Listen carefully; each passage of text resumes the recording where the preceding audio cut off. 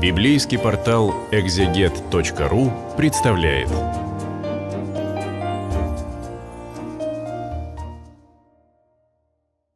Это видео для библейского портала экзегет.ру. И сейчас мы продолжим разговор о Евангелии от Иоанна и обратимся к 16 главе.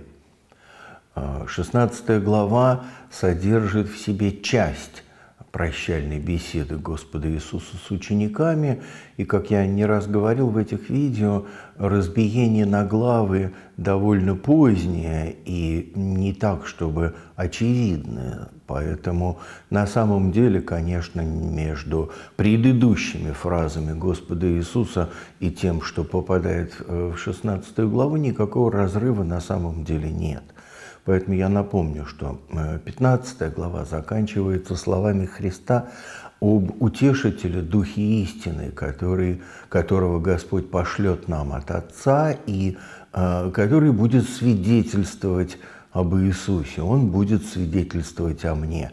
И вот дальше, буквально в следующей фразе, Господь говорит своим ученикам, «Я говорю вам это, чтобы вы не соблазнились» чтобы вы не соблазнились. Таким образом, э, Господь продолжает разговор о Духе Утешителя, о том, что вот это дарование Духа, который засвидетельствует о Христе прямо в сердцах э, его учеников, это э, происходит для того, чтобы они могли устоять в вере. Хочу обратить ваше внимание на то, что, знаете ли, если бы не было а, у учеников или у любых других э, людей никаких сомнений, соблазнов, о чем говорит, собственно, Господь, то и ни о чем было бы говорить, не было бы никакой особенной нужды в этом пришествии Духа Утешителя. Таким образом, слова Христа «Я говорю вам это, чтобы вы не соблазнились» подразумевают тот факт, что как он сам тоже говорит, в другом месте невозможно не прийти соблазном, невозможно не быть сомнением. И, э, собственно, помощь Божья заключается не в том, чтобы мы были избавлены от сомнений или каких-то трудных интеллектуальных или духовных задач, а в том, чтобы мы его силой, силой Духа Утешителя могли с этим справиться. Это довольно важно, потому что христиане иногда удивляются или там виноватят себя в том, что вот там у нас какие-то соблазны, смущения и сомнения. Нет, это нормально. А, наша задача принять это свидетельство Духа Святого. Далее Господь говорит об враждебности мира к его ученикам, потому что буквально несколькими строками выше он говорил, что как меня мир возненавидел, так и вас возненавидит. Он говорит о том, что если его ученики идут Э, его путем в этом мире свидетельствует о том Царстве Отца Небесного, о котором свидетельствует Иисус. Таким образом, отношение к Господу Иисусу почти автоматически, неизбежно э, падает и на его учеников. И вот поэтому Господь говорит, изгонят вас из синагог, даже наступает время, когда всякий убивающий вас будет думать, что он тем служит Богу. Но кроме того, что это предупреждение ученикам, опять-таки, чтобы они не соблазнились, это еще реальность, над которой, конечно, всем людям, читающим Новый Завет, надо задумываться. Потому что, смотрите, вот Иисус говорит о том, что бывают времена – когда люди, убивая других, думают, что они тем служат Богу. И само построение фразы Иисуса э, свидетельствует о том, что это иллюзия, это обман или самообман, потому что таким путем невозможно служить Богу. Не может убиение других людей из-за убеждений, из-за взглядов – да, быть служением Богу. По крайней мере, настоящему Богу, тому Богу, о котором свидетельствует Иисус. И, в общем, нам это необходимо помнить, потому что, к сожалению, в нашей истории бывали и изредка и сейчас бывают ситуации, когда мы тоже уничтожая, ну, может быть, не физически убивая, но э, уничтожая, стирая из истории людей, тоже думаем, что так можно послужить Богу. Бог не бывает поругаем и не очень нуждается в нашей защите э, каких-то там оскорбленных чувств. Поэтому вот давайте эти слова Христа все-таки помнить. Очевидно совершенно, что он э, считает, что убивающий не может служить Богу никаким Богом. Вот, теперь дальше, продолжая говорить к ученикам, Христос обращается к их собственным переживаниям и говорит, вот я Э, иду к пославшему меня, и вы ни о чем меня не спрашиваете, но э, ваше сердце наполняется печалью. Э, ну, в каком-то смысле неудивительно, в самом начале Евангелия евангелист Иоанн пишет о том, что у Христу не было нужды, чтобы кто ему рассказывал о человеке, потому что он сам видит. И вот он видит эту печаль в сердцах своих учеников, и не оставляет ее без внимания. Мне кажется, тоже это очень важно э, увидеть, понять, потому что часто мы трусим предъявить Богу те переживания, которые есть в нашем сердце, и не только там сомнения, но и страхи, и э, тревоги, и печаль, но Господь это все видит, и Ему это далеко не безразлично. И вот поэтому Господь говорит им, лучше для вас, чтобы я пошел, потому что тогда придет утешитель. Ну, он говорит это в отрицательной форме, если я не пойду, утешитель не придет к вам, а если пойду, то пошлю его к вам. И это, мне кажется, важный очень ответ Христа на э, печали учеников – да, мы видим, что он, во-первых, их замечает, и, во-вторых, совершает нечто, дарование Духа Утешителя для того, чтобы действительно эта печаль притворилась в нечто иное.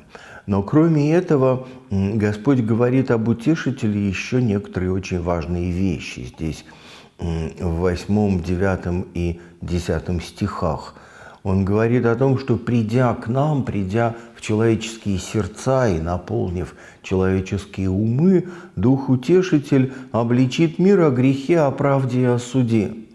А, и Господь расшифровывает, что, собственно, имеется в виду. Поэтому необходимо для нас посмотреть, что Он называет грехом, что Он называет правдой и что он называет судом. Тоже, чтобы не путаться, потому что очень часто в нашей практике а, мы называем грехом правдой и судом совершенно другие вещи, не то, о чем говорит Иисус. Итак, вот смотрите, Христос говорит, утешитель обличит мир о грехе, о правде, о суде. О грехе, что не веруют в меня, а, ничто другое, а именно недоверие Иисусу, неверие тому, что во Христе Отец Небесный э, ищет спасение миру. Да? Вот недоверие любви Божьей на самом деле и жертве, которую Бог приносит ради э, жизни мира, вот это недоверие и есть грех, то, что отвращает нас от Бога, отсутствие какого-то такого, что, знаете, что психологи называют базисным доверием к Богу. Вот это грех, вот это порождает все остальные человеческие ошибки, заблуждения, провинности, прегрешения и все прочие частности. И мне кажется, очень важно смотреть в свое сердце, чтобы ответить хотя бы себе на вопрос, доверяю ли я тому, что в Иисусе Бог пришел спасти этот мир и меня в том числе. Э, доверяю ли я тому, что Христос умирает на кресте за каждого из людей или нет? И вот, собственно, это и есть тот грех, который мы, э, я думаю, призваны исправлять, менять что-то в себе силою Духа Утешителя. Дальше Господь говорит о правде.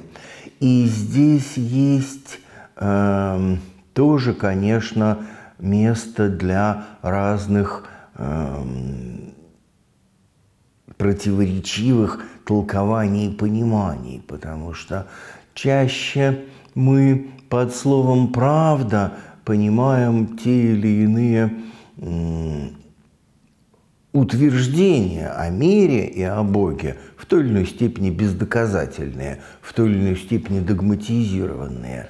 Э, ну или наоборот э, считаем, что это там, способ, путь какой-то человеческой жизни. А Христос говорит, правда, правда заключается в том, что я иду к Отцу моему – в том, что на самом деле это способ немножко иначе сказать то, что он говорил парой глав выше э, «Я и Отец одно». Правда заключается в том, что, как выражается Священное Писание, как выражается Павел, во Христе вся полнота божества телесна. Вот что значит «Я и Отец одно». И таким образом, э, когда Господь говорит о Э, правде, она отличается от неправды вот ровно в этом пункте, в том, что мир и человек созданы Богом для того, чтобы возможно было это соединение во Христе Иисусе. Вот, собственно, правда нашей жизни заключается, может быть, в том, что через Иисуса мы а, непосредственным образом усыновляемся Отцу Небесному. Правда, что я иду к Отцу моему, и уже не увидите меня. И, наконец, последнее, здесь в 10 стихе, в 11 уже, Христос говорит о том, что э, Дух Утешитель обличит мир о суде, э, что князь мира сего осужден. Тоже читая Э, Священное Писание, как Нового, так и тем более Ветхого Завета, мы, э, видя слово «суд», сразу представляем себе разные фольклорные, не имеющие отношения к вере, картинки, ну и не стоит о них и говорить. Суд, говорит Господь, в том, что князь мира сего осужден. Он говорит о победе Бога над злом, над смертью, над сатаной. Он говорит о победе, которая уже совершается в его сердце. Вот это очень а, важное, одно из центральных мест в 16 главе. И дальше, продолжая этот разговор, Христос говорит ученикам, еще много имею сказать вам, но вы теперь не можете вместить. Ну и это действительно правда, потому что сколько мы можем вместить, помимо прочего, еще очень зависит от э, нашего человеческого личностного возрастания, от того, что э, апостол Павел называет мерой полного возраста Христова. И Господь обещает своим ученикам, когда придет Дух истины, Он наставит вас на всякую истину. И это тоже потрясающая вещь, понимаете, как э, через пророка Иеремию Бог э, в 31 главе Иеремии говорит о Новом Завете, который вот в этот момент заключается. Он говорит о Новом Завете, что уже не будут учить друг друга и брат брата, и говорить «познайте Господа». Э, кстати, между прочим, это тоже несколько обличает нашу жизнь, потому что мы с наслаждением занимаемся поучениями друг друга. Так вот, Отец Небесный обещает, уже не будут учить друг друга и брат брата и говорить «познайте Господа», потому что все сами будут знать Меня. Потому что все сами будут знать меня, ибо я прощу беззаконие их и грехов их уже не воспомяну более. И вот, собственно, Господь Иисус в этом месте, в 13 стихе 16 главы, говорит о Духе, который наставит на всякую истину, который дарует ученикам Христа вот эту возможность самим знать Бога, и уже не учить друг друга, и это, как обещал Господь, происходит через прощение грехов. Сама возможность знать Бога, сама возможность знать истину, быть наставленными на истину – это потрясающий подарок. Евангелист Иоанн э, обращает на это часто внимание, потому что у него э, часто мы находим противопоставление хождения в свете с Иисусом или хождение во тьме. Вот эта возможность видеть свет, возможность, которую дает Дух Святой, это э, на самом деле – то, чем нам, мне кажется, нужно очень дорожить и быть за это очень благодарными. Ну и, конечно, быть благодарными за такую возможность означает использовать ее. И Господь продолжает, говоря, что Дух истины, Дух Утешитель э, прославит меня. А хочу напомнить, что в данном случае слово «прославить», слово «слава» означает э, переживаемое, почти осязаемое присутствие и действие Бога. И вот Христос говорит о том, что Дух Божий э, в сердцах учеников действуя, наставляя их на всякую истину, принесет э, в их жизнь, в их личность, в их дух вот эту славу Христа, присутствие Христа, Его э, действие, Его свет. И Дальше Господь говорит о том, что, ну, пожалуй, я бы сказал, что это некоторая глубокая тайна. Он говорит о том, что Дух истины прославит Его, а потому что от Его, от моего возьмет, возвестит вам. Все, что имеет Отец, мое. Поэтому я сказал, что от моего возьмет. А, ну, надо полагать, евангелист Иоанн, когда записывал эти слова, в какой-то степени понимал, о чем говорит Господь Иисус. Нам, читателям, во все времена важно очень помнить, что мы тоже до какой-то степени можем понять. Но за этим скрывается некоторая тайна Божья – которая с большим трудом может вместиться в наши дискурсивные определения, в наши попытки рационально все выстроить. На самом деле, конечно, Бог парадоксален. И к таким вещам, к таким словам, которые скорее обозначают тайну, чем разъясняют ее, следует, мне кажется, относиться с большим трепетом, с большим благоговением. И вот дальше мы видим с вами с 16 стиха, как снова Господь говорит им, своим ученикам о том, что э, вскоре вы не увидите меня, и опять вскоре увидите меня, и я иду к Отцу. И евангелист рассказывает о том, что все они в этот момент недоумевали, потому что для них, ну, действительно, это было, видимо, почти невозможно понять и пытались спросить Иисуса, и, конечно, Господь видел даже невысказанный вопрос в их глазах, и поэтому Он что-то, по крайней мере, пытается им сказать так, чтобы они могли понять. Он говорит, вы восплачете и возрыдаете, а мир возрадуется. Вы печально будете, но печаль ваша в радость будет помимо всего прочего, для нас важно согласиться вот так не совпадать с окружающим миром, который э, действительно э, бывает обычно очень доволен, когда скинет себе ответственность перед Богом. Да, вы, воз, вы печальны будете, а мир возрадуется. Очень часто, знаете, человеческая наша природа – строго говоря, то, что называется стадным инстинктом, побуждает нас присоединиться к окружающим и быть как все. Но Христос предупреждает своих учеников, что это не тот путь, к которому они призваны. Ну, вот. И, наконец, поразительное совершенно откровение он им дает. «Я увижу вас опять, и возрадуется сердце вашей, радости вашей никто не отнимет у вас». Собственно, к этому нечего добавить. Важно только действительно пита питаться, насыщаться этой радостью. Радости вашей никто не отнимет у вас. И э, поэтому надо, мне кажется, помнить ну, людям, которые читают этот текст, что э, поручение Бога, доверие к Иисусу – и, соответственно, радость о том, что мы Его видим, и Он видит нас.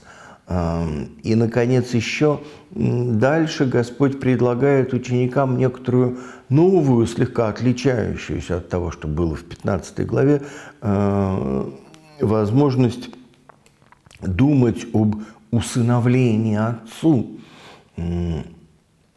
о том, что, становясь друзьями, учениками – братьями Иисуса, мы действительно усыновляемся Отцу. И вот Христос говорит ученикам, «Сам Отец любит вас, потому что вы возлюбили меня и уверовали, что я исшел от Бога». Помните, чуть выше мы говорили о том, что грех заключается в том, что не веруют Э, в меня, как говорит Иисус.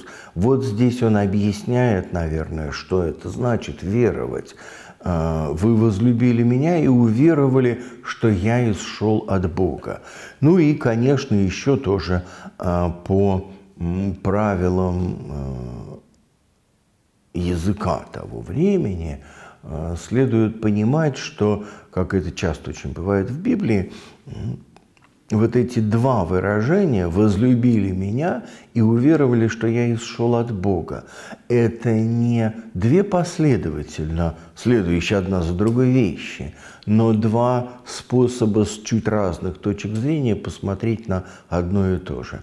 Любить Иисуса и верить, что Он действительно э, исшел от Бога, что Он имеет слова жизни вечной, это, в общем, одно и то же к Нему отношение – а, которые чуть по-разному описывается. Ну и, может быть, самое главное, что Иисус говорит своим ученикам о том, что когда они любят Его, когда они доверяют э, Богу в Нем, Богу в Иисусе, да, это, это, собственно, э, делает их причастниками любви Отца Небесного к ним. И, наконец, э, дальше в конце 16 главы евангелист Иоанн говорит о том, что в какой-то момент под конец этой беседы ученики поняли, о чем говорит Иисус, или подумали, что они поняли, и сказали, ну вот, теперь ты говоришь прямо, и теперь мы видим, что ты знаешь все и не имеешь нужды, чтобы кто спрашивал тебя. Веруем, что ты от Бога исшел. И, казалось бы, все сложилось, все получилось, они э, исповедуют свою веру, но Господь говорит о том, что жизнь не так проста, и слова это еще, к сожалению, часто бывает далеко не все. Вот наступает час, говорит Господь, когда вы рассеетесь каждый в свою сторону и оставите меня одного. И он говорит о том, что все равно я не один, но Отец со мною. Последний, 33 стих 16 главы, совершенно потрясающая э, фраза. Господь говорит ученикам, предупредив им от, их о том, что вот вы рассеетесь, каждый в свою сторону, и это время уже настало, но я вам это говорю – не для того, чтобы вы заранее там устыдились э, или как-то пропали от безнадежности. Господь говорит, я сказал вам об этом, чтобы вы имели во мне мир. Вот э, в сердце Иисуса, когда Он умирает из-за каждого из нас, из-за нас. Мир, который Он хочет нам дать, это совершенно э, не невозможное, непостижимое для человека, но очень важная вещь, на которую действительно можно опереться. На то, что э, наши отношения с Богом очень трагичны и в конце концов приводят к тому, что Иисус умирает за нас. Но мы имеем в нем мир и можем поэтому опираться на этот мир в сердце Христовом и э, менять свою жизнь и, и в заключение Господь говорит, в мире будете иметь скорбь, но мужайтесь, я победил мир. Я победил мир, говорит Христос. И все, что а, мы здесь с вами видели о грехе, о правде, о суде, что князь мира всего осужден, вот это сосредоточено в этой короткой фразе. Христос а, предлагает своим ученикам поверить в то, что его победа над миром, над злом, над смертью, над распадом и хаосом уже совершается в его сердце и э, положиться на этот факт.